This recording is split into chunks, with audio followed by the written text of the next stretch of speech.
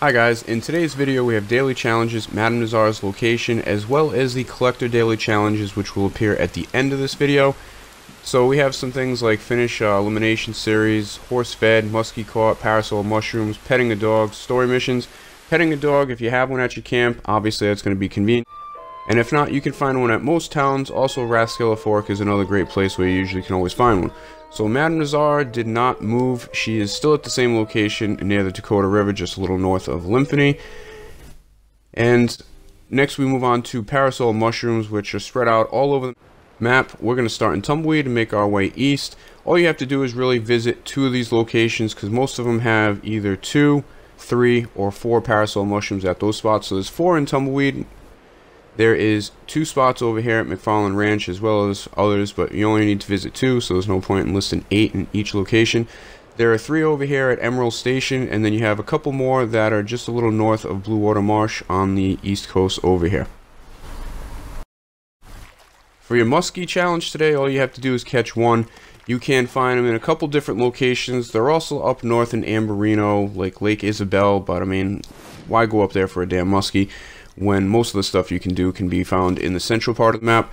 But you can find some all along the coast here from about Blue Water Marsh almost all the way up to Annesburg. And you can also find them in Lake Owanjila. Again, you only have to catch one, so that makes things convenient and, uh, you know, take care of that challenge. So now we're going to focus on the collector daily challenges. These locations here, you'll be able to get jewelry, eggs, tarot cards, and arrowheads. First location coming up here is a coin. Then the next two locations are pieces of jewelry. Then after that, we have an arrowhead coming up right here. We have another arrowhead at this location. Then you have a tarot card at Bacchus Station. We move on to three eggs that you can find over here north of Cumberland Forest. There should be a piece of jewelry in the Northern Gang hideout. There is a coin up on the hill. At the Southern Gang hideout, you should be able to find a tarot card. Inside of Valentine, these next two locations are tarot cards.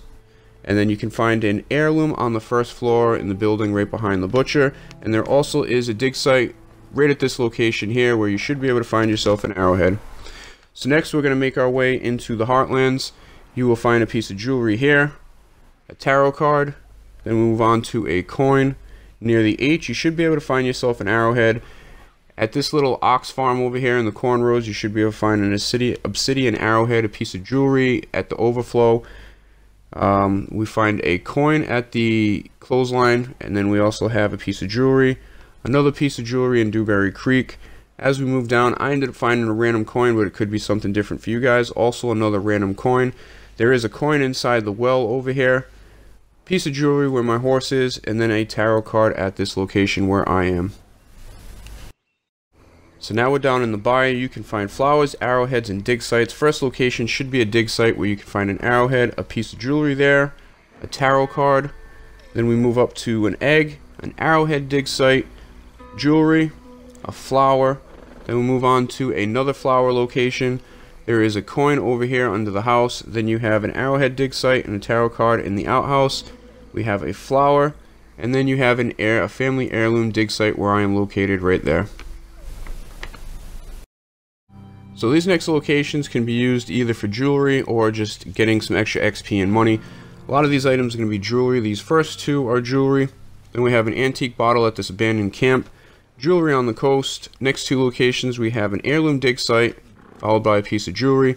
We move up to an arrowhead. A piece of jewelry here on the coast of Kamassa River. Another piece of jewelry behind this house. Although somebody said there might be a tarot card at the chimney of the house as well or another item. And then we have a coin at this location here to top it off and uh, complete this little area. So next we're going to go ahead and talk about eggs, alcohol bottles, and heirlooms for anybody that needs them. So we're going to start off up here, an egg location that we've already talked about. There's three eggs. You can get that challenge done. Heirloom at this location in Valentine. We have an alcohol bottle here. As we move over, you have another family heirloom.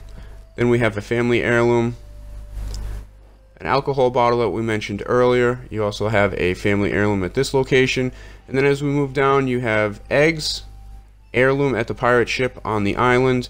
Then we have some more eggs over here, and then an alcohol bottle at Manzanita Post. Appreciate you guys watching. Hope the video helped. See you next time.